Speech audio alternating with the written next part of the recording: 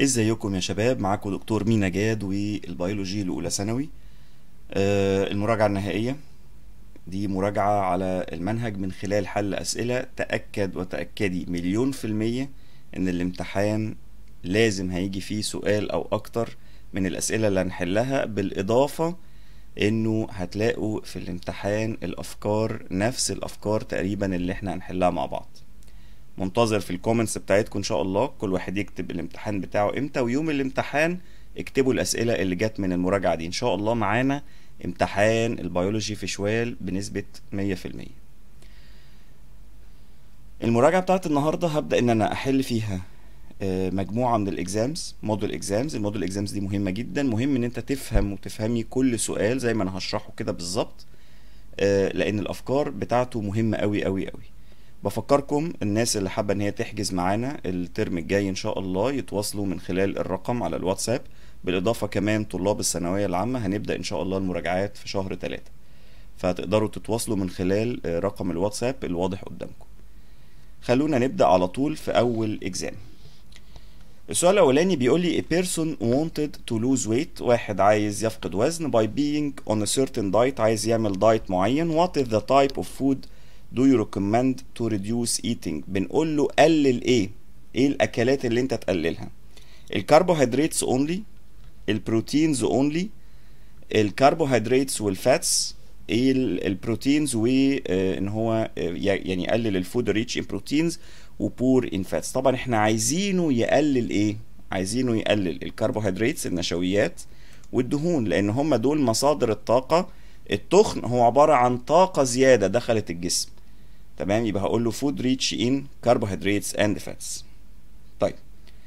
مديني مجموعة من ال graphs بيقول لي uh, which of the following graphs expresses the relation between the number of nucleoli in the cell and the formation of protein? طبعا إحنا قلنا وشرحنا إن ال nucleoli ديت أو اللي هي المفرد بتاعها ال nucleolus هي المسؤولة عن تصنيع ال ribosomes. وال ribosomes هو اللي بيصنع البروتين. يبقى كلما زاد عدد ال nucleoli كلما قدرنا نكون بروتين أكتر. يبقى الإجابة B السؤال اللي بعده بيقول لي on examining a tissue by using the light microscope it is observed that the image is unclear. لقينا ال image مش واضحة. Which of the following doesn't consider a reason for that? إيه ممكن ما يكونش السبب. طيب أول حاجة لو أنا استخدمت magnifying power أكتر من 1500 ده ممكن يكون السبب. تمام؟ طيب changing the light intensity غيرت الإضاءة قللتها بزيادة أو زودتها بزيادة ده ممكن يكون سبب إن الصورة مش واضحة. cutting the tissue into thin slices أنا قطعت التيشو عندي thin slices المفروض لما بقطعها thin slices ده يديني صورة كويسة؟ تمام؟ طيب تعال نشوف آخر جملة. Non usage of dyes. آه عدم استخدام ال- الصبغات هيدي صورة مش واضحة. كل دول يدوا صورة مش واضحة ما عدا C cutting the tissue into thin slices. المفروض لما بقطعها لشرايح صغيرة تديني صورة أوضح. طيب بيقول لي what is the number of microtubules that form the centrosome in three cells from the human stomach طيب أنا اتفقت إن أنا عندي ال centrosome ديت عبارة عن إيه؟ ال centrosome الواحدة. اتفقنا إن هي عبارة عن two centrioles خلينا كده نرسم. عبارة عن two centrioles بالمنظر ده فوق بعض بالمنظر ده. كل centriole فيهم عبارة عن تسع مجموعات. وكل مجموعة عبارة عن تلاتة مايكروتوبيولز يعني اللي أقصده إيه؟ اللي أقصده إن أنا عندي تسعة في تلاتة بسبعة وعشرين يعني دي سبعة وعشرين ودي سبعة وعشرين يعني الاتنين مع بعض أربعة وخمسين. طيب ده الواحدة. هو مش عايز واحدة.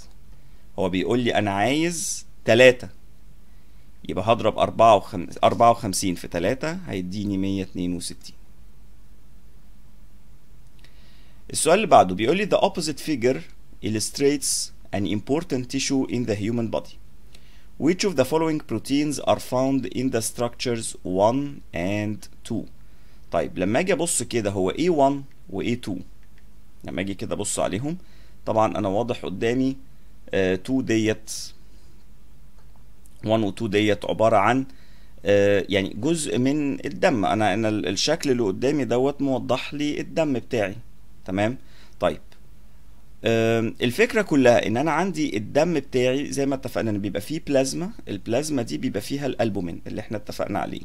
وبيبقى عندي كرات دم حمراء كرات دم الحمراء كرات الدم الحمراء ديت هي دي اللي فيها الهيموجلوبين. طيب لما أجي أبص تمام؟ طبعا هو يعني الصورة ملغوشة مش ألطف حاجة. تمام؟ المفروض إن أنا لما يشاور لي على المفروض إن أنا مشاور على 1 بالكامل أو مشاور لي على ال red blood cell تمام؟ فهي دي اللي فيها الهيموجلوبين. ال red blood cell هي اللي فيها الهيموجلوبين. 2 ديت مشاور على السائل. السائل اللي بره هو ده اللي فيه الألبومين. يبقى على حسب بقى ما هيجي لك في الامتحان. انت خلاص فاهم. ال red blood cell هي اللي فيها الهيموجلوبين والجزء الشفاف أو البلازما هي ده أو هو ده اللي فيه الألبومين. يبقى هقول له هيموجلوبين وألبومين. بيقول لي the opposite figure illustrates an animal cell. Which of the following its or their activity increases. Inside the cell after digesting a meal rich in carbohydrates. إحنا دلوقتي أكلنا أكلة فيها كربوهيدراتس كتير. تمام؟ طيب ما تيجي نشوف كل الكلام ده عبارة عن إيه؟ هي 1 دي عبارة عن إيه؟ ما 1 دي عبارة عن الميتوكوندريا طيب 2 ديت عبارة عن إيه؟ 2 دي عبارة عن ال Golgi apparatus طيب آم، 3 ديت عبارة عن إيه؟ عبارة عن ال endoplasmic reticulum و4 برضو مشاور لي على ال endoplasmic reticulum أنا اللي يهمني في الموضوع إيه؟ اللي يهمني في الموضوع اللي هو الميتوكوندريا. طيب هنا بقى اللخبطة كلها. هل أنا هختار وأقول له الميتوكوندريا فقط؟ أنا عايز الميتوكوندريا بس؟ ولا هاخد حاجة تاني معاها؟ هي دي اللعبة بقى كلها. ليه بقى؟ طبعا خلي بالكم من نقطة إن عندي 3 ديت مشاور لي على ال rough endoplasmic reticulum اللي هي فيها النقط وال4 ديت مشاور لي على ال smooth endoplasmic reticulum هقول له هنا الإجابة 1 and 4 ليه يا عم الحاج؟ إحنا عارفين إن أنا عندي الميتوكوندريا هي اللي هتاخد ال- الجلوكوز الموجود في الكربوهيدرات وتبدأ إن هي تطلع لي منه طاقة. لا ده أنا كمان عايز four اللي هي ال smooth endoplasmic reticulum ليه؟ مش إحنا اتفقنا إن أنا لما باخد جلوكوز زيادة هي بتحوله لي على هيئه جلايكوجين. فعشان كده هقول له أنا عايز 1 وعايز 4 1 and 4 السؤال اللي بعد كده رقم سبعة بيقول لي which of the following statements expresses the optimal temperature for all the body enzymes? أنا عايز درجة الحرارة المناسبة. آه، ده بي- بيقول إيه يعني؟ أو يعني الجملة اللي بتعبر عن هذا الكلام. فبيقول لي هل هي ال temperature at which the enzyme works efficiently آه هي دي ال optimal temperature فعلا. درجة الحرارة اللي فيها الانزيم هيشتغل بدقة. The highest temperature at which the enzyme works لا أنا مش بختار أعلى درجة حرارة لا. أنا عندي range مثلا من كذا لكذا ففي جزء معين هو ده ال optimal فلا 2 دي مش هتنفع. طيب بيقول لي it ranges between 30 to 37 طبعا 30 ده ده خلاص ده إنسان ده مات أساسا. فهقول له الإجابة هتبقى 1 only 1 only. لأن أنا عندي درجة الحرارة المثالية في الجسم اللي هي من 37 لغاية 40 طيب بيقول لي what is the structure from which ال RNA exits to the cytoplasm in plant cell إيه ال structure اللي من خلاله ال RNA هيخرج ويروح للسيتوبلازم في ال plant cell في ال plant cell في ال animal cell كده كده ال RNA بيخرج من جوه ال nucleus تمام؟ من خلال ال nuclear membrane من خلال ال nuclear pores اللي موجودة في ال nuclear membrane طيب السؤال اللي بعده بيقول لك the opposite figure represents a unicellular organism Euglena. What is the microscope through which the internal details for the organelles of this organism can be seen؟ أنا عايز أشوف بقى حاجات دقيقة جدا جوه هذا ال structure علشان أشوف حاجات دقيقة قوي جوه ال structure دوت أنا هنا محتاج electron microscope بقى يبدأ يكبر الدنيا.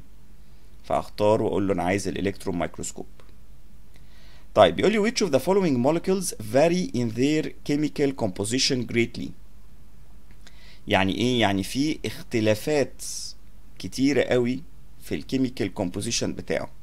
ال simple sugars ولا ال lipids ولا ال nucleic acids ولا الكربوهيدراتس أنا عارف ال simple sugars اسطمبة واحدة. الكربون والهيدروجين والاكسجين بالأعداد بتاعتهم. أو الكربوهيدراتس ما هي جاية من ال simple sugars يتفضل لي ال nucleic acids وال lipids طب ال nucleic acids أنا كنت عارف إن هي برضو كانت اسطمبة واحدة. تمام؟ فأنا هنا هقول له ال lipids هي اللي هيبقى فيها الاختلاف الكبير بتاعي. ال lipids هي اللي هيبقى فيها الاختلاف الكبير بتاعي. لأن ال nucleic acids هي ال nucleotides بتبقى رصة واحدة معروفة. كل الاختلافات بس في ال nitrogenous bases وخلاص. غيرنا ال nitrogenous bases وخلاص. لكن ال lipids بقى هي اللي كان فيها أفلام زي ما إحنا شفنا. و... ومجموعة من ال fatty acids ويا إما fatty acids saturated يا إما unsaturated. تمام؟ طيب بيقول لي Marfan syndrome is a disorder resulted from a disturbance in the gene that makes the body produce the protein which helps in providing a body tissue with its elasticity and hardness. Which of the following tissues is affected by this syndrome؟ يعني بيقول لي عندي سندروم عندي disorder معين هذا الديسوردر بيعمل مشكلة في تكوين البروتينات اللي بتساعد الجسم على الالاستيستي بتاعته والهاردنس إيه اللي بيساعد ال elasticity اللي هو الانسيابية بتاعة الجسم؟ انسيابية الجسم اللي هو ال connective tissue اللي هو اللي هو بيمسك الأعضاء كلها ببعض. إحنا اتفقنا إن ال connective tissue ده اللي بيربط كل الجسم في بعضه. فتلاقي واحد عنده انسيابية عنده مرونة تمام؟ وحد تاني ما عندوش مرونة. المرونة دي جاية منين؟ من ال connective tissue اللي موجود جوه الجسم. 12 بيقول لي the opposite graph illustrates the relation between the activity of three enzymes X, Y, و Z. and the pH value which of the following can be concluded. Each enzyme works efficiently at different pH from the other. كل انزيم بيشتغل بصورة كويسة عند different pH اه انا عندي X ده شغال في pH معين و Y في pH معين و Z في pH معين تمام السؤال اللي بعده بيقول لي what is the type of muscles that allow chimpanzee animal uh, climb the high trees إيه اللي بيساعد الشمبانزي إن هو يتحرك؟ شمبانزي إنسان أي حيوان. أنا محتاج ال muscles اللي هي ال skeletal muscles ال skeletal muscles بتاعتي اللي هي إيه؟ اللي هي ال striated اللي هي المخططة ال voluntary الإرادية. هي دي اللي بتخليني أقدر أتحرك.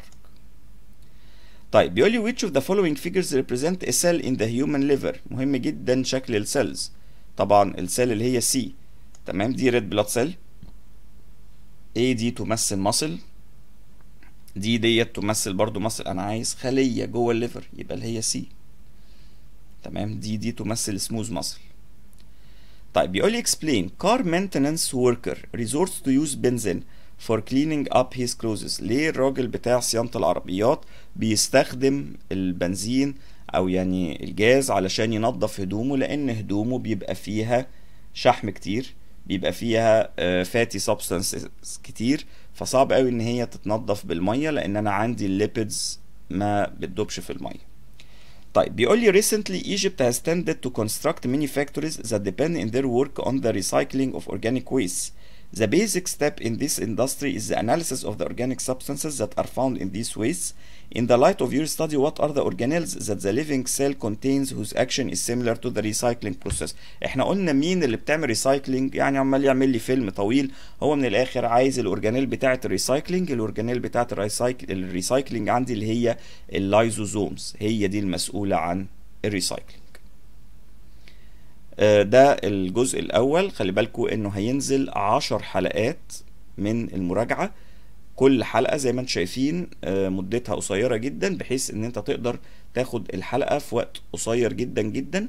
تابعونا على مدار العشر حلقات. العشر حلقات دول مهمين جدا وهم دول اللي هيجي منهم الامتحان. في النهاية حابب إن أنا أشكركم. انتظرونا في الحلقة الجاية. شكرا لكم